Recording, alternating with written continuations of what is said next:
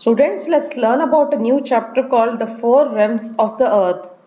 Now let's see what are the major domains of the earth. So earth is the only planet where life exists and this is the unique and exclusive feature which is not present on any other planets. So what are the three main components of the earth which makes this existence of life possible? They are water, air and soil.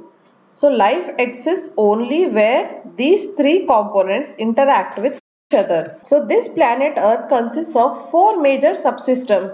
They are known as domains or realms. So these four subsystems are known as domains or realms. And what are the names of these four subsystems? They are lithosphere that is land, hydrosphere that means water, atmosphere means air and biosphere. Biosphere means the part of the earth where life is found. Now let's study in detail about these four domains of the earth. What is lithosphere? The solid portion of the earth is known as the lithosphere. That means the land part of the earth is known as lithosphere. And what is the lithosphere composes the rocks of the earth's crust. Inside the earth we have many layers, right? So inside the earth we have crust so the earth's crust is made up of totally rocks and also thin layers of soil. This soil is a habitat for many living organisms and these living organisms make the soil nutrient rich. So this lithosphere is comprises of rocks crust, rocks of the earth's crust and layers of the soil.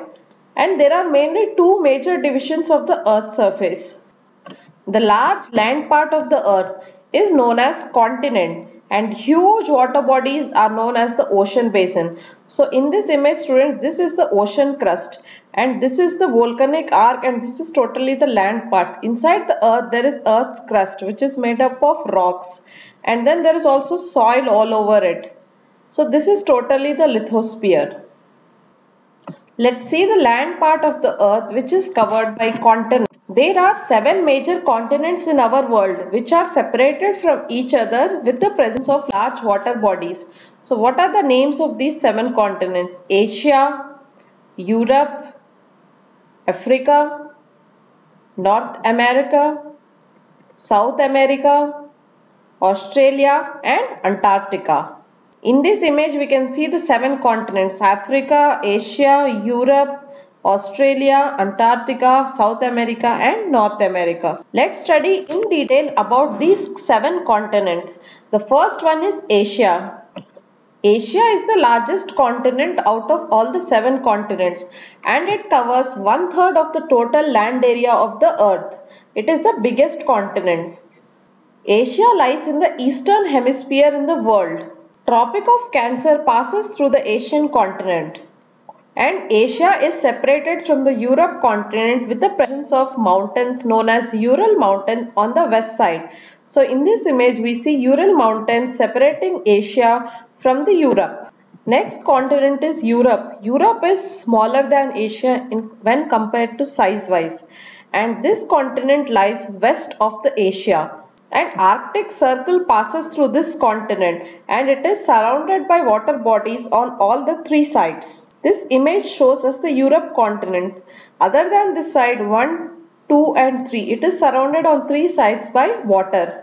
Next let's see about the African continent. This is the image of African continent where there are many countries, more of the desert area and it is also surrounded by water and there is Indian Ocean below it completely and there are many mountains also in this continent. And Africa is the second largest continent after Asia. So comparing size wise, it is the second largest continent in the world after Asia. And here the equator runs to the middle of the continent. That means 0 degrees latitude runs almost through the middle of this continent. This African continent lies in both western hemisphere as well as the eastern hemisphere. My major portion lies in the eastern hemisphere and the minor part lies in the western hemisphere. This African continent is separated from the Europe with the presence of a sea in the northern side. That sea is known as Mediterranean Sea and on the west side it is separated by Atlantic Ocean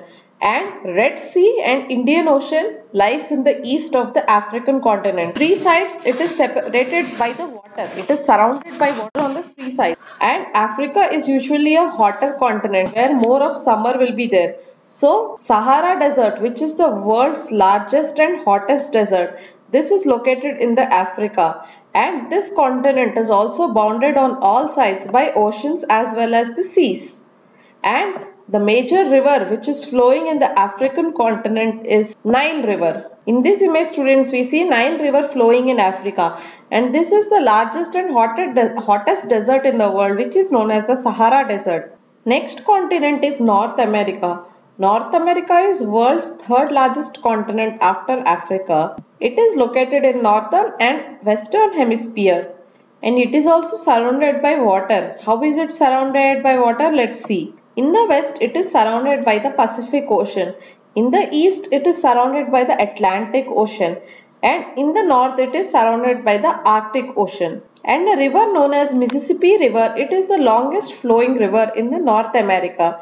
So this is the Mississippi River which is the longest flowing river in the North America and this is the map of the Northern American continent. Next moving on to South America continent. South America continent is located in the Western Hemisphere and this continent is surrounded by Pacific Ocean in the west and in the south this continent is located in the south of the northern america.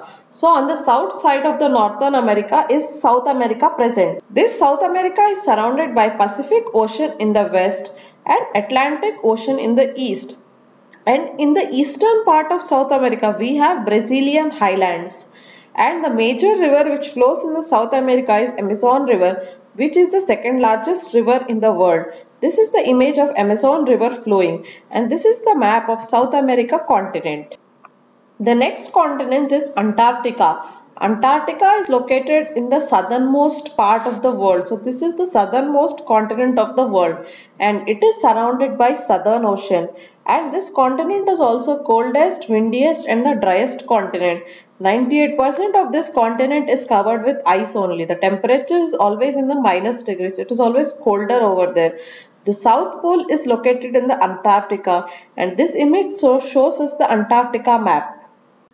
Next, let's learn about the hydrosphere. Hydrosphere means that part of the earth which is covered by water and earth is almost covered by 71% water and 29% land. So hydrosphere means water but in what forms? Water in all the forms such as running water in the oceans, rivers and lakes as well as ice in the glaciers and underground water and as well as water vapor in the atmosphere. All these things comprise hydrosphere. The earth is composed of 71% by water and 29% by land and out of this totally present water the 97% of the earth's water is present in the oceans and seas and definitely this ocean water is very salty right? It is not suitable for drinking. So very little water is available for drinking purpose. So a large portion of rest of the water is in the form of ice sheets glaciers or under the ground. So that is the reason very small percentage of water is left for fresh water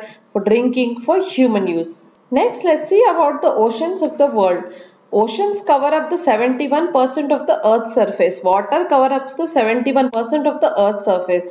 And there are five major oceans in the world. They are Pacific Ocean, Atlantic Ocean, Indian Ocean, Arctic Ocean and Southern Ocean. Now let's see in detail about these five types of oceans. Pacific Ocean is the largest of the five oceans of the world.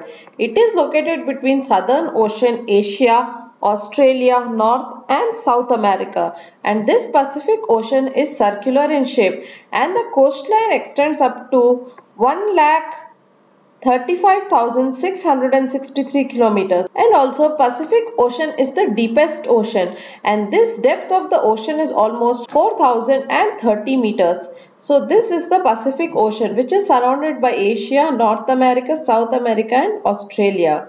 Next comes the Atlantic Ocean. Atlantic Ocean is the second largest ocean in the world after the Pacific Ocean and it is located between Africa, Europe, Southern Ocean and the Western Hemisphere. So it is surrounded by Africa, Europe southern and the western hemisphere and the length of the coastline of this Atlantic Ocean is 1,11,866 kilometers and the shape of the Atlantic Ocean resembles somewhat the alphabet S. Atlantic Ocean is definitely smaller than the Pacific Ocean but in the number of ports and harbors is larger than the Pacific Ocean and this Atlantic Ocean is the busiest ocean in terms of trade and it has lots of ports and harbors and it supports the business trade in total world very widely.